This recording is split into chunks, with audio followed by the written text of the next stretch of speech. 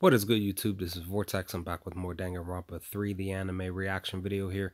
This is episode 11 in my reaction of this anime. As always, guys, because I don't want to get hit with any copyright claims, the reaction video will be redirected in a link, and that link will be pinned in the comment section below. So be sure to click the link, watch my reaction, come back to this video, and let's have a chat about this episode. Alright, guys, let's do it.